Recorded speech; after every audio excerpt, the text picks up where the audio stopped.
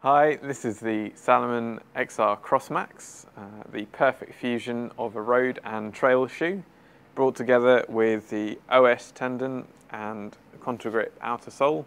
You get a good combination of grip on loose and uneven surfaces, uh, but also a decent um, cushioning on hard surfaces like on the road and packed tracks.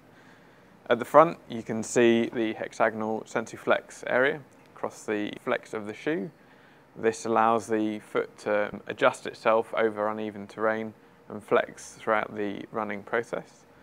At the front you can also see the quick lace system, uh, one of Salomon's top selling features. One of the few lacing systems that has very rarely come undone. In fact, in four years of wearing it, I've never ever found it to come undone. Inside the, the shoe, you've got uh, SensiFit, which is a complete seamless fit of the fabrics, which allows really comfortable uh, fit, especially on longer distances.